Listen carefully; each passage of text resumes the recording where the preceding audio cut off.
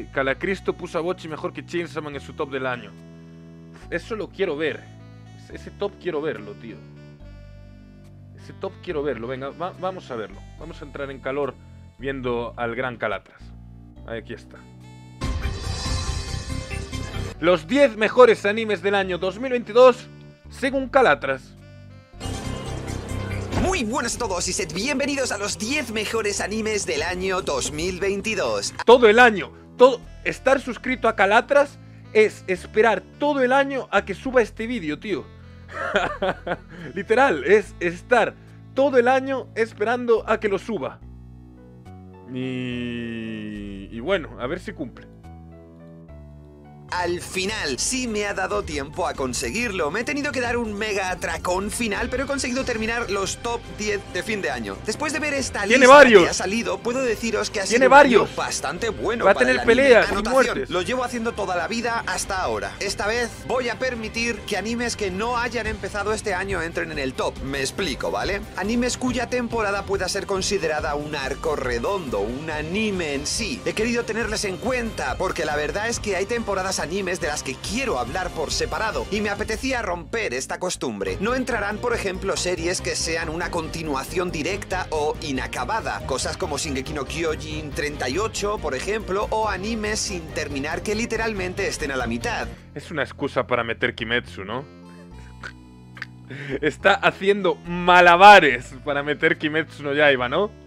Bleach, cosas así. Tampoco temporadas que repitan el mismo estilo de toda la serie con casi nada de evolución. O sea, se acaba de cargar Shingeki y Kaguya. ¿Y qué temporadas le quedan? Doctor Stone, Kimetsu y, y ya está. y Made in Abyss. Englobo a series como Kaguya-sama o incluso Boku no Hero Academia. Pero bueno, al final esto será un top 15, por lo que si sacáis mentalmente las series continuaciones podréis sin problema quedaros con un top de series exclusivas de este año. Terminada la larga anotación, comenzamos este top 10 animes del año 2022. La verdad es que desde la temporada de Made in 15. Abyss sí que es bastante. Paripi Koumei. Yo también abrí el top con Paripi.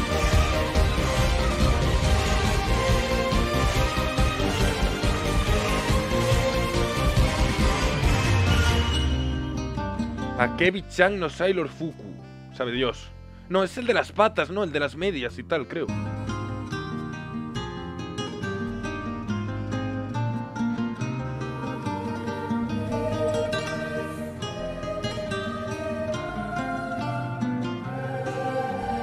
Osama Ranking. Bueno, yo lo metí todo en el 2021, pero vale.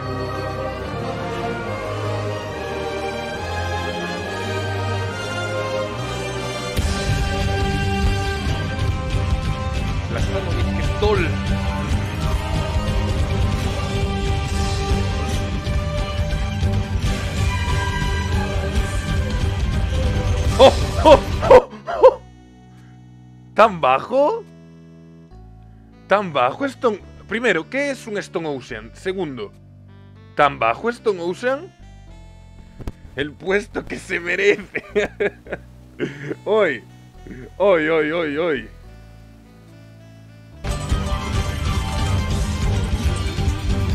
Netflix tiene la culpa. No tiene la culpa en un top personal. Netflix tendrá la culpa a nivel fama de la obra ese año, pero un top personal no tiene culpa.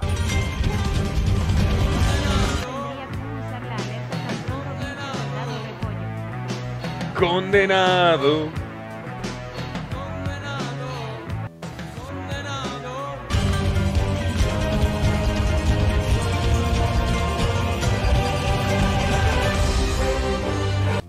Eh, Calatras puso a Stone Ocean como su quinta temporada favorita de JoJo's, pero solo hay seis.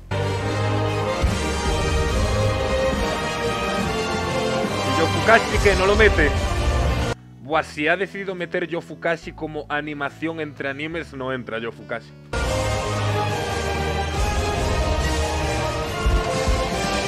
Shihyugai Shonen Shoujo. Lo único malo, ¡Cala! sus seis episodios de media hora y que no fueran 12. Después de muchos años desde la creación de su obra magna, Den no Coil, su director y creador Mitsuo Iso volvió al fin al mundo del anime y se Bueno, es verdad que a Kala le encanta de Nokoi. Nota en todos sus episodios. La serie que Nadie me habló de este anime. Estuve un año haciendo streams todos los días y nadie me habló de esto. Leyendo cientos y cientos y cientos de miles de comentarios en el chat y ni uno solo de vosotros escribió jamás. Chiyukai Shounen Shoujo. Yo. Lo único malo, sus seis episodios de media hora y que no fueran 12. Después de muchos años desde la creación de su obra magna, Den no Coil, su director y creador Mitsuo Iso volvió al fin al mundo del anime y se nota en todos sus episodios. La serie que trata sobre una estación espacial japonesa donde viven un par de niños que nunca han pisado la Tierra dado que nacieron en la Luna y además llegan otros cuantos niños más de visita, se transforma rápidamente en una carrera por la supervivencia al ocurrir lo que yo llamo problemas espaciales. Es como la película esa de Gravity, pero con un increíble carisma y sentido del humor en absolutamente todos sus personajes. Sin lugar a dudas, lo mejor de la serie. Luego tenemos la ciencia ficción del estilo de Mitsuo Iso, que se caracteriza por contar futuros muy cercanos y de los cuales ya podemos ver los primeros indicios. El nacimiento de las inteligencias artificiales, No el mal. dominio del espacio por las marcas y las corporaciones y no por los países, la superpoblación humana, el problema del agua y docenas de nuevas tecnologías que nos muestra la serie y que como en Dead No Coil podemos decir, hey, no nos queda tanto para esto, ¿eh? No es una serie tan entre comillas oscura como Dead No Coil, pero porque no tuvo el tiempo suficiente. No faltarán dosis de terror por el futuro, las inteligencias artificiales... Ya parece de- más interesante que Bochi. esta se hizo tan inteligente que analizando todo el conocimiento y pensamiento de la humanidad pudo crear un poema, un poema que contaba el futuro de la humanidad, otras dimensiones, muerte, alegría y sobre todo Niños haciendo cosas de niños. Akiba Meido Sensou, sorpresa ¿Tan bajo? ¿Tan bajo? ¡Cala! ¡Cala! ¿Cómo, cómo puesto número 9? No hay nueve animes mejores que Akiba Meido Sensu en, en 2020, o sea, en 2022. ¿Cómo tan bajo? Ya podemos ver los primeros indicios, el nacimiento de las inteligencias artificiales, el dominio del espacio por las marcas y las corporaciones y no Llevo una resub de Ancient Koro, no la había visto. Muchas gracias. por los países, la superpoblación humana, el problema del agua y donde tocó ligero y Sensou. Sorpresa del año y no porque no haya habido animes desconocidos entre comillas mejores, sino porque es de esos que estabas confiado de que no podía llegar a nada y luego te demuestra lo equivocado que estabas. Akiba Meido Sensou nos lleva a los años 90 en Akihabara, pero una Akihabara un tanto violenta. Las mafias han tomado las calles ¿Como y la la de verdad? ni se acerca, solo que las mafias están creadas por las propias Meidos, así que igual que te sirven un rico Omereteraizu con un hechizo Moe Moe Kyun para que te salga más delicioso, luego a la salida están liándose a tiros con las Meidos de otro local, súper salvaje. Y aquí llega lo bueno, lo en serio y bien que se trata a sí misma esta serie. Comprende lo absurdo de la trama y la explota hasta el infinito. Nos muestra un sentido del humor muy poco anime, es más, muy poco japonés. Esta serie tiene giros, guiños y bromas que podrían estar fácilmente en Los Simpsons o Padre de Familia. Pero claro, es un anime, así que luego se Por pone eso bien es bueno. con muertes inesperadas y construyendo una historia en base al pasado de las Meidos en Akihabara con un poquito de intentar romper el ciclo del odio. Esta serie es súper entretenida de ver, mezclando escenas tarantinescas con cine de Pues mafiosos a ver, ya me dirás no, que otra- muy ya me dirás que ocho no olvidemos, has puesto por encima de las Calatras. Meidos, que hacen soniditos de los animes que interpretan. Bienvenidos a las Meido Cerdas. A ver. A ver qué ocho bodrios puso por encima de las mates. Mob Psycho 100 Bueno, no he visto, no opino. No he visto, no opino. Vale, puede ser. No quiero ni un píxel de mob en este stream. Chainsaw Man, vale. ¿Cómo no iba a salir en este top de fin de año la esperada, la ¿Pero tan bajo? la deseada Chainsaw Man? De momento incompleta, pero con su arco cerrado y mucho sobre lo que hablar. Antes de nada, yo me he leído el manga y tengo una maldición. Si me leo el manga, no disfruto tanto del anime. No disfruto comparando o viendo si lo hicieron tal como yo Pues deseo. a mí me gustó mucho más, tío. a mí esta temporada 1 de Chainsaw Man me gustó, pero como cinco veces más que el inicio del manga. Ahora Jimeno es mi top 2.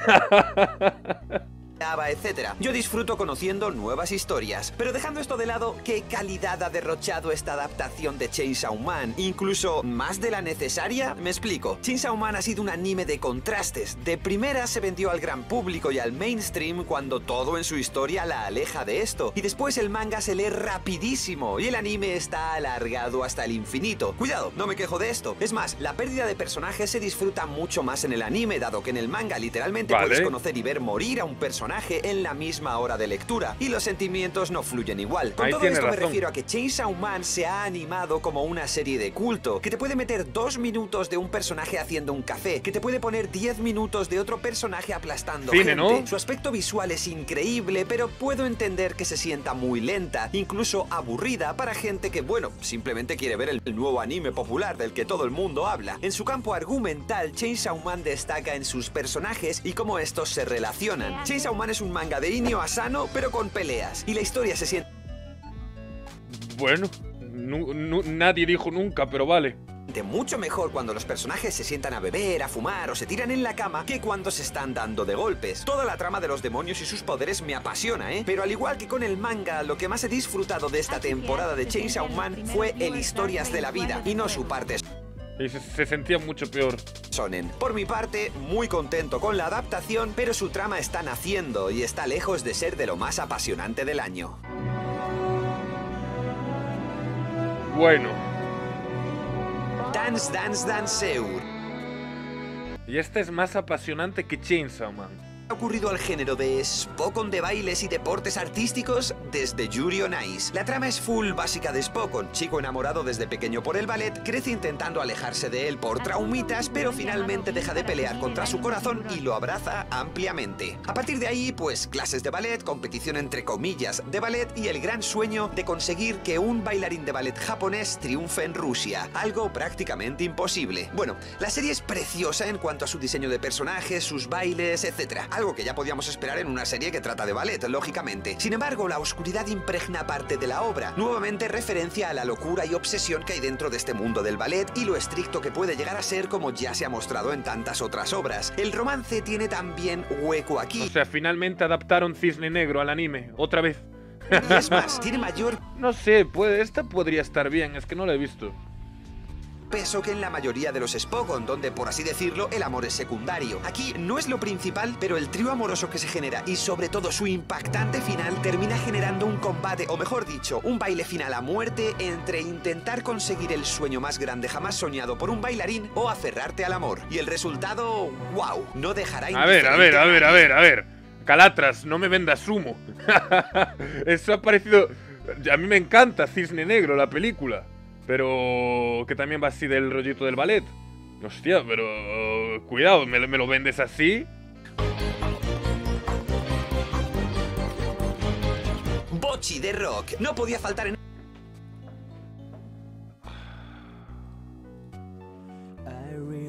The screaming pain.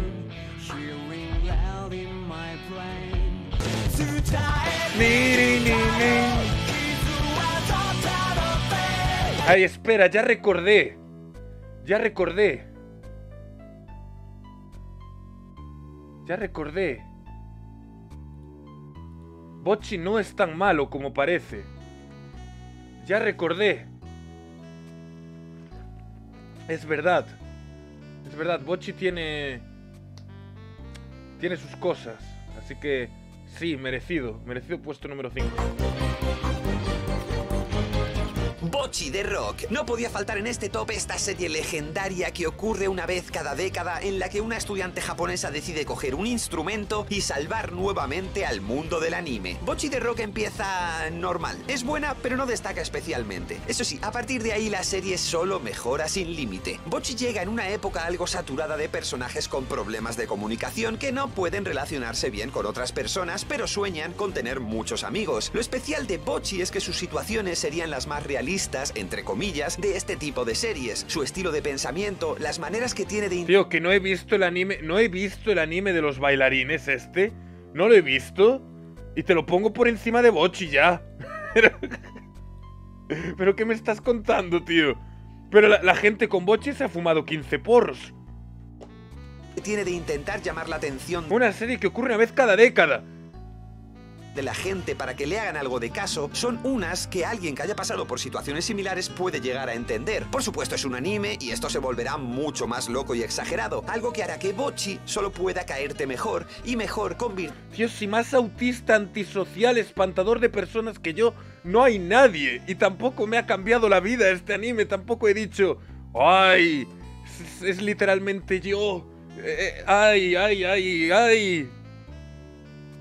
Bueno, happen. convirtiéndose en seguramente el anime más gracioso del 2022 junto a Kiba Meido Sensou. Y luego llega toda la parte del rock. Esto es más clásico anime de música, pero ver los inicios de Kiba Me- y mejor convirtiéndose en seguramente el anime más gracioso del 2022 junto a Kiba Meido Sensou. Y luego llega toda la parte del rock. Esto es más clásico anime de música, pero ver los inicios de un grupo de tan buen elenco de protagonistas siempre es súper entretenido. Los temazos de la No me sé el nombre de ninguna salvo de Bochi. la serie buenísimos. Quizá no alcanza el nivel de las Girl Demo de Angel Beats, pero las están rozando. En definitiva, si viste todo el boom de fama que tuvo esta chica de chándal y pelos rositas y no entendías por qué, míratela. Es tan icónica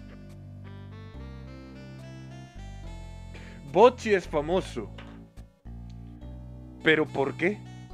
Que ha llegado al mundo del anime para quedarse. Quizás al nivel de personajes como Konata de Lucky Star o Makima de Chainsaw Man.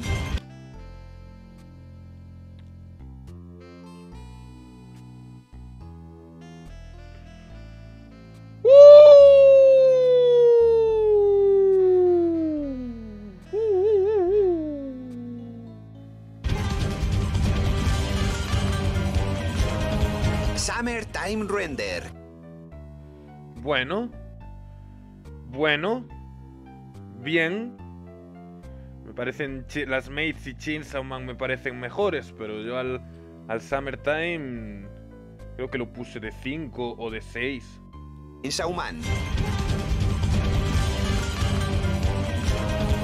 Man. Summertime Render, considerado por muchos el anime del año y tiene todo lo necesario para serlo. Analicémoslo un poquito más. Bueno, Este por muchos tampoco, ¿eh? increíble anime es para mí la fusión entre Higurashi no Naku Koroni, por lo obvio, va de bucles temporales y luego por la trama. Es un thriller paranormal que ocurre en una pequeña localidad alejada de las grandes ciudades, con un elenco reducido de protagonistas, pero con mil giros que se van sucediendo a cada paso que dan, creando una historia cada vez más y más enrevesada. Bueno, Summertime Render no llega a la gran locura de Higurashi, pero se queda en el punto perfecto para dar misterio, terror y giros de guion que no lleguen a hacerse pesados o exagerados en ningún punto. No, no, pesado no es. eh, Como alguien que se metió los 20 episodios seguidos, pesado no es. Es- esa, esa sí que la concedo. El otro anime al que me recuerda mucho es curiosamente Deathman Wonderland, y es que tiene ese toque de sonen de peleas muy específico de un tipo de elemento, podríamos decir. ¿Qué? ¿Qué? Wonderland presenta un mundo de terror Pero- con personajes que pelean con habilidades de Ca- ¿Calatras desenterrando a Deadman Wonderland de las profundidades del infierno? Sangre. Summertime Render hace exactamente lo mismo con personajes que presentan habilidades basadas en las sombras. Bueno, las sombras y el tiempo, que por algo va de bucles. Quiero hacer hincapié en esto. Los niveles de poder, las habilidades y las peleas de esta serie están increíblemente pulidas. Sobre todo para una serie que va pues de misterios y no de peleas. Cada uno de los personajes que va entrando poco a poco es un engranaje ¿Acaba de shonenficar a Summertime Render?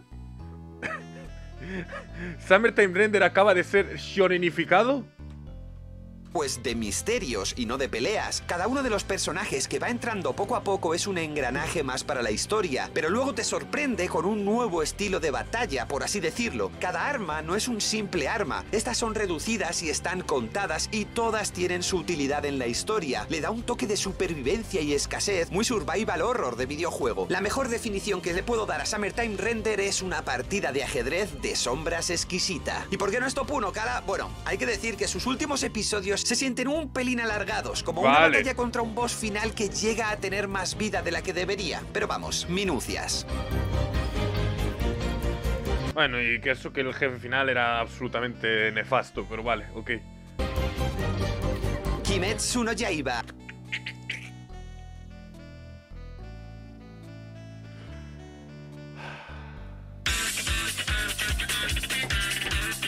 Tun, tun, tun. Pongan a Bochi arriba. Kimetsu no fue mejor que Bochi. Summertime es mejor que Kimetsu, Bochi es mejor que Kimetsu, las Mates son mejores que Kimetsu, obviamente Chainsaw Man es mejor que Kimetsu.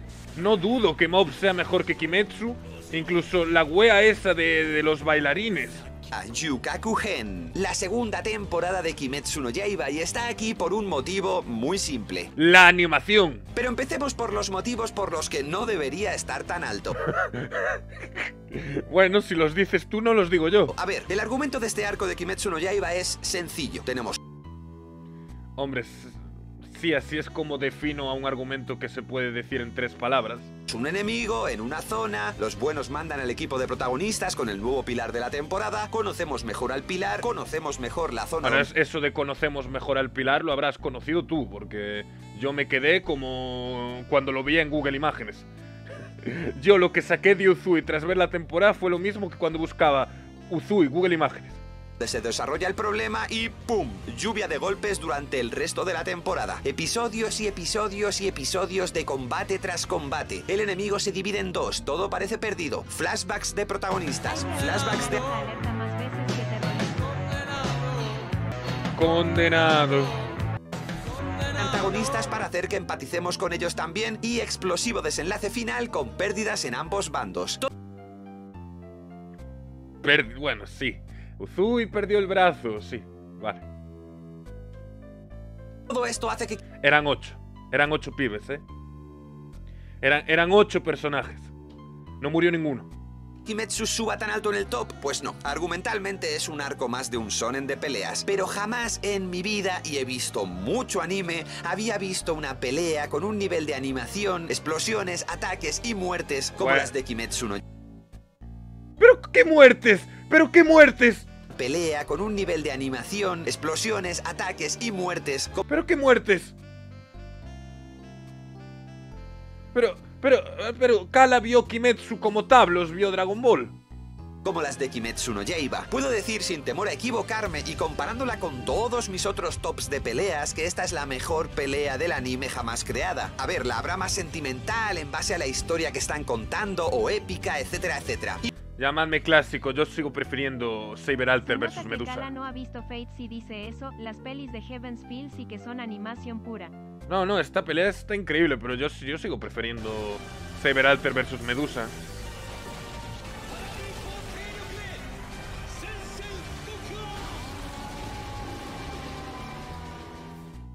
Este men no recuerda al Ter Saber contra Ryder, esa pelea le da 5000 vueltas.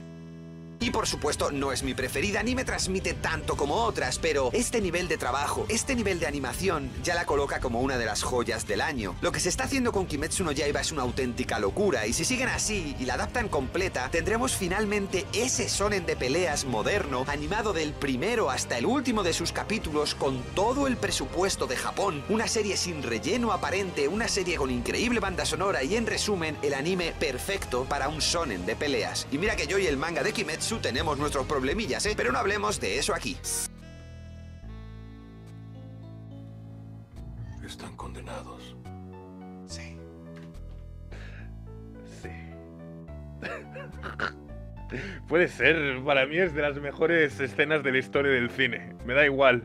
Me da igual Scorsese, me da igual la academia. A mí ver a, a estos dos admitiendo que la humanidad está condenada de esta forma, a mí me, me parece maravilloso. Están condenados. Sí. Hostia. Y va a ser Kimetsu el anime perfecto. Y Kimetsu no puto Yaiba va a ser el anime perfecto. Con una animación increíble, sin relleno, todo el presupuesto de Japón. Y va a ser el anime perfecto.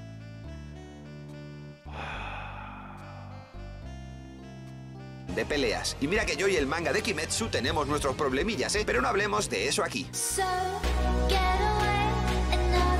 ¡Se salvó! Cyberpunk Edge Runners. Le dediqué un vídeo ¡Se salvó! de Tío, pues si lo pones de puesto número 2 y has hecho la, la cosa de las temporadas, solo Made in Abyss puede estar encima. Casi una hora que podéis encontrar en este mismo canal, analizando hasta el último de sus detalles y episodios, por lo que lo que diré aquí solo será repetirme. Cyberpunk Edge Runner fue una joya, nacida de un lugar donde era imposible que saliera algo bueno, pero todos nos equivocamos. Una historia corta, una historia con unos personajes que progresan muy adecuadamente, una historia Bueno, con bueno. muchísima muerte, perfecto para mi gusto, una historia con un tras... Vaya cara decir eso después de haber metido Kimetsu en el top Debería 3. Ya la, ya la tengo que poner, sí. Vaya cara. Vaya cara decir eso después de haber metido Kimetsu en el puesto número 3. Y a las mates en el, en el puesto número 9 o 10. Hostia. ¿Y Bleach? fondo y una ciudad insuperables, banda sonora, animación, carisma, todo. Pero también una historia que pierde potencia en sus cuatro episodios finales, una historia la ¿Cómo que pierde potencia en los cuatro episodios finales si es donde se pone buena?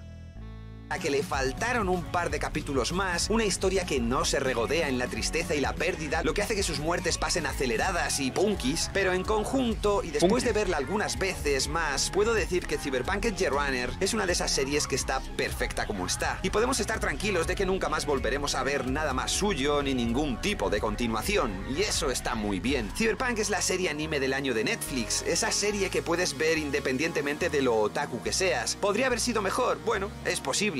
Que hay pocas series de 10 episodios que sean tan redondas como la historia que nos cuentan aquí, eso también te lo aseguro. Si tengo que recomendar alguna serie de este año, esa es Cyberpunk Edge Runner. Es la que mejor nivelada está. Otras series de esta de lista hacen mejor otras cosas. Mejor argumento, mejor pelea, mejor muerte, mejor humor. Por supuesto que sí. Pero esta es la que los engloba a todos con el mejor nivel medio. ¿Y qué muerte ha sido mejor que la de. que la de David? ¿Qué muerte ha habido este año mejor que la de David? Jimeno. Es la única que me parece así buena también.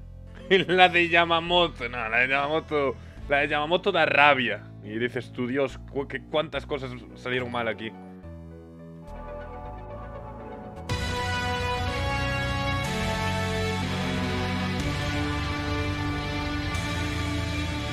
Tío, pues el cabrón salvó el top, ¿eh?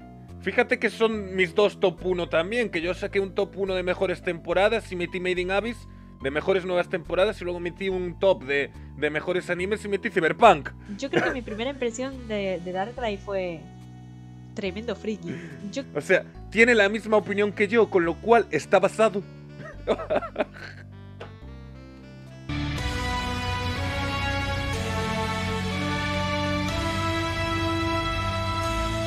Made in Abyss, Retsujitsu no Ougonkyo. Segunda temporada de Made in Abyss. Qué infravalorada que está esta mierda, ¿eh? Qué putamente infravalorada que sea lo mejor del año y tú lo digas y, y se te queden mirando en plan... Sí, lo que digas, loco.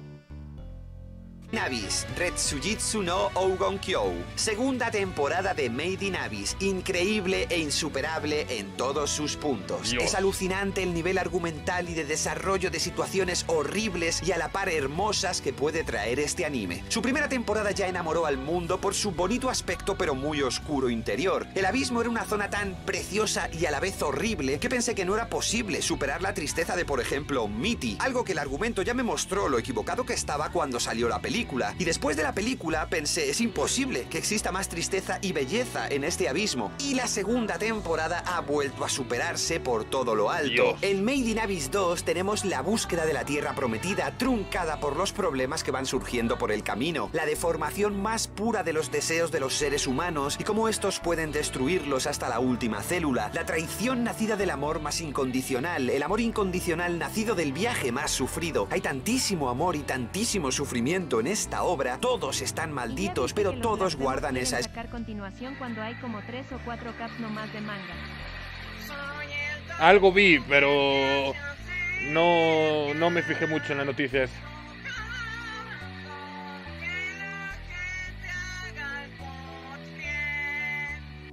Dios. esperanza. Todos mantienen esos sueños. Algunos saben cuándo soltarlos y despedirse. Otros se agarran a su destino hasta su más terrible final. Los personajes que te gustan aniquilan a los personajes que te gustan. Los personajes que odias te muestran lo bonito de darlo todo por tus sueños. ¡Dios! Me estoy poniendo muy metafísico, pero entended que es difícil hablar de una obra como esta sin hacer spoilers. ¿Rico estuvo en la temporada 2 de Made in Abyss? ¿Pero por qué?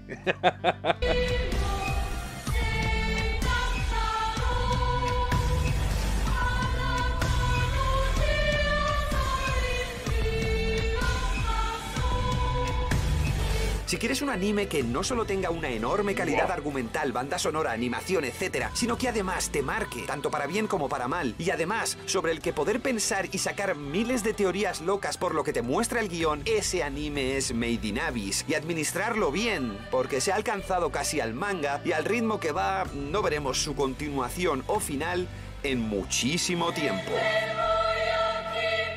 Da igual, le, le metemos rewatch una vez al año.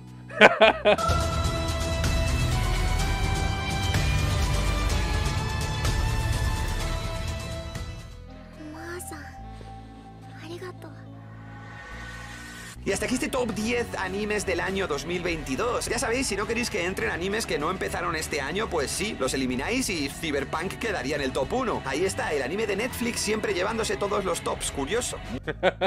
Pues sí, ¿no? Porque Pete- eh, creo que se lo dio a Gret Pretender un año, a Devilman Crybaby otro. no, sí, sí, sí, lo- los putos de Netflix te sacan 50 animes al año, pero luego el mejor está ahí. En honor a la apuesta, ¿te gustó el top de el top? Mm, Estoy de acuerdo con el puesto número uno y el 2. Realmente, uy, yo diría que no. Yo diría que no. Un, top que tenga Kimetsu no Yaiba top 3 y a Bochi por encima de las mates, ya no te digo por encima de Chinsaman, pero Bochi mejor que las mates ni de puta coña. Así que dale a no. No, no, no, no. No, no, no, el top la verdad se basó ahí al final porque bueno, hay que tener mucha cara para decir que Cyberpunk y Made in Abyss no fueron lo mejor. Plan, quien haya visto Cyberpunk y Made in Abyss sabrán que, que fue lo mejor.